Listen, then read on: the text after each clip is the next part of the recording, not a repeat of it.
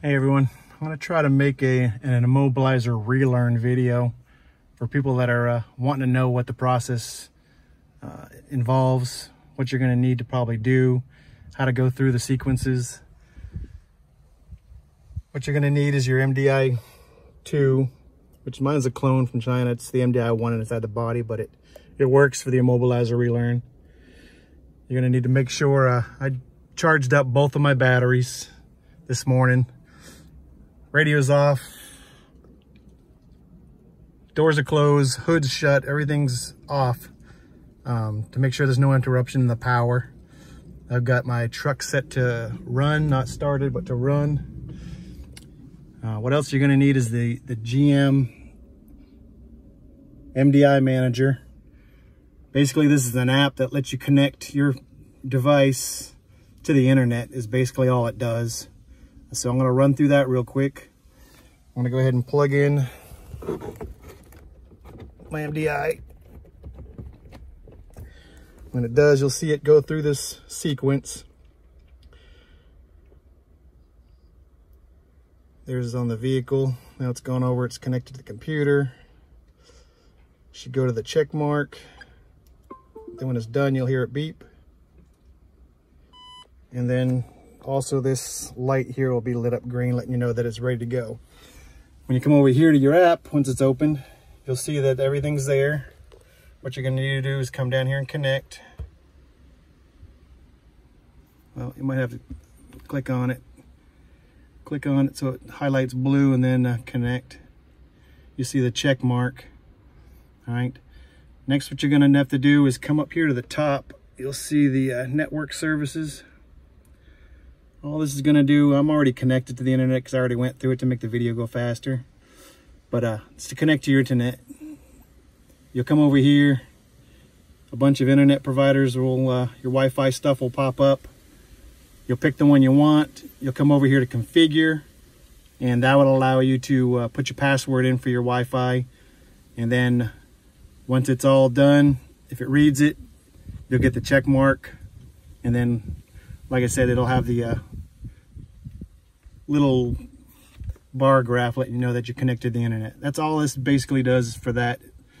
Uh, from here, you're going to want to go to your AC Delco. When you go to your AC Delco, uh, you're going to want to uh, you're going to want to run as administrator. The uh, program has some software that's got to download. And for some reason, if you're not running as administrator, sometimes it doesn't allow you to uh, to go through the whole sequence. So it's better to run it as administrator, then you don't have to worry about it. All right, I'm gonna go to the AC Delco page here once I get it.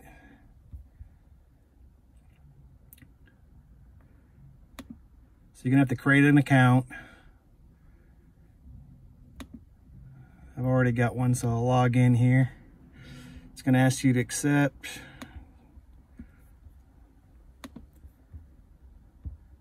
All right, I've already got my uh, $40 subscription. So you can see on mine, it already shows that the uh, vehicle program software already have my, my one active um, for 24 month. So I'm gonna go over here to view. You can see I've already got my VIN in. It might ask you to type in your VIN. Um, but what you would normally do if yours isn't there is you'll go down here to the add a VIN, type this in, and then follow the prompts from there. All right, just bypass these little warnings. You're gonna wanna go over here to the SPS. All right, this is just giving the warning. Now I did download the Java 32-bit. I had to actually Google Java 32-bit, find one and download it. I don't know if I needed it or if the 64 works. It says to have it, so I did it. So if you're trying to do this and you're having issues, you might want to try to Google Java 32-bit and download it to your, your PC or your laptop. All right, from here, you're going to start the SPS. All right. It's going to ask, hopefully I don't keep up my finger in there and I'm not trying to watch the screen of my recording. You're going to keep all right, downloads pretty quick.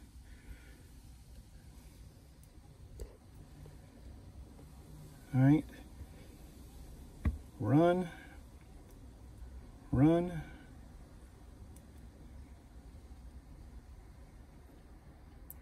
Now right in here is where you'll have the issue if you didn't run as administrator. So just something to keep in mind. You're not getting past any of that stuff, it's probably because you didn't run as an administrator or you didn't have the 32-bit.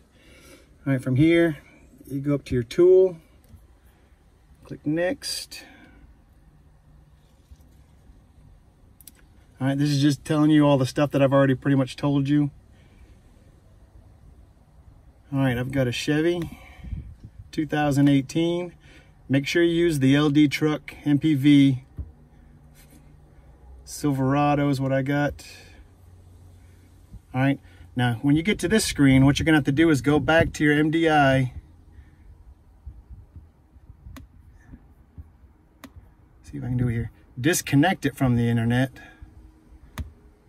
Once you do that, you'll be able to connect this one to the internet.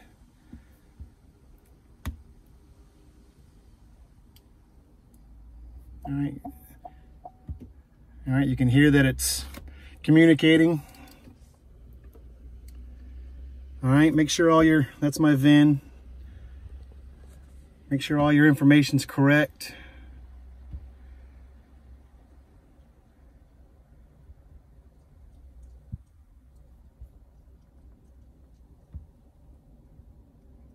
All right, what I'm gonna be doing, I'm gonna scroll down here, immobilizer relearn.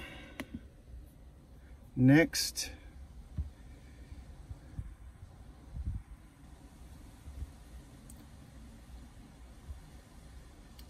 You can read through all that stuff when you're doing it, but uh,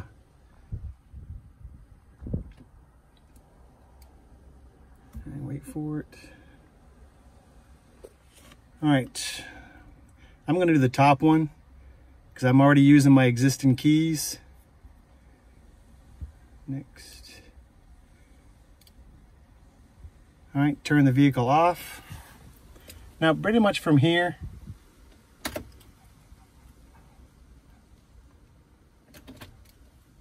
you just follow the prompts. The purpose of my video was to try to get you to this point. From here, there's lots of videos online that already explain this part of it. Basically this, you're just sitting here watching these, these countdowns. If you've made it this far, you're pretty much, you should be good to go.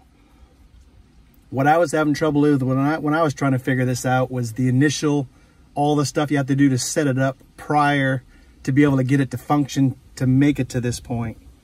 Um, so I'm not going to keep recording any further. From here, you just follow the prompts, and then when you're done, that should be the end of it.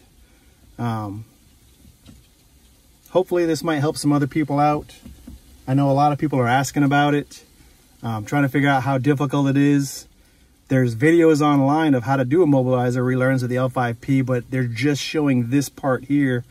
And like I said, once you get to this part, you should be able to figure it out anyways because it's just following the prompts, turning the key off, turn the key on, opening the door, whatever it tells you to do, just go ahead and do it.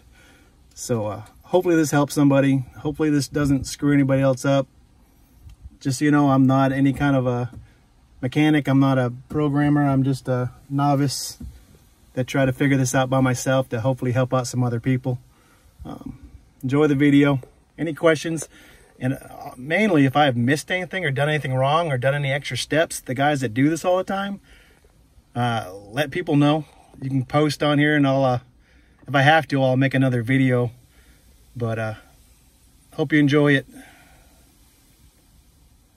It's 32 this morning, so it's going to be nice have my remote start tomorrow.